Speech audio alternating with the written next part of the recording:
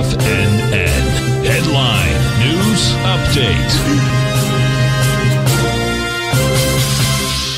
Good afternoon, folks. Steve Rhodes coming to you live from the shores of, well, currently sunny Delray Beach, Florida. This is your 1 p.m. update, and we currently have a mixed bag out here. You've got the Dow up 96 points. The trannies are flat. The New York Stock Exchange up 42. The other indices to the downside. The S&P's off 17. NASDAQ 100, 221, 1 and 4 tenths percent. Russell's off 18, 8 tenths percent. Semis down 1 and 2 tenths percent, basically about 46 buckaroonies out there. You've got the spot politics up 41 cents. Trading at 1732, that's still below its 50-day exponential moving average.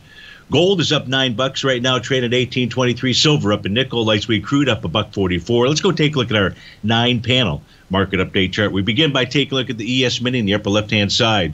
What you'll see here is really just a sideways move. Now 47.99.75. That is the top of its bearish engulfing candle that formed the bu- butterfly sell, the uh, sell the D point pattern uh, out there. But the price is still, uh, well, right now it's sitting right on its oscillator and change line at the 47.68 level.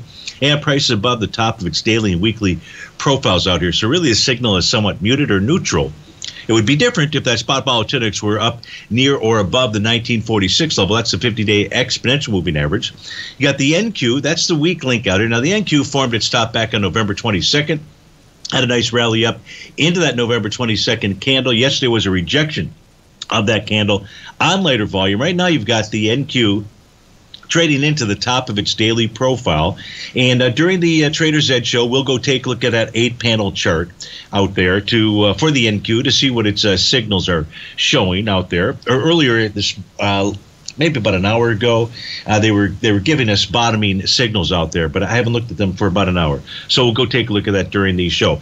U.S. dollar index just consolidating between support and resistance of its new daily profile out there. So not sure what it wants to do. Gold got up to the uh, top of its weekly profile. That's at the 1828 level. No clue whether or not it'll be able to take that out. It has struggled. This is the third time up to that level. Silver just moving sideways. It's got real resistance at the center of its bearish structure daily profile. That's at 2345. You can see that light sweet crude is breaking out.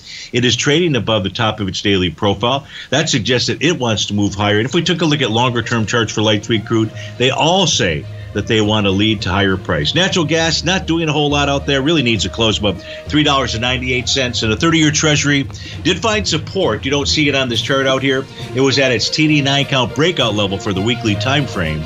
We'll see if that will hold. Folks, stay tuned for the Trader's Edge show. But if you're off to start your what is today? Today Wednesday? Yeah, if you're off to start your Wednesday, have a wonderful one.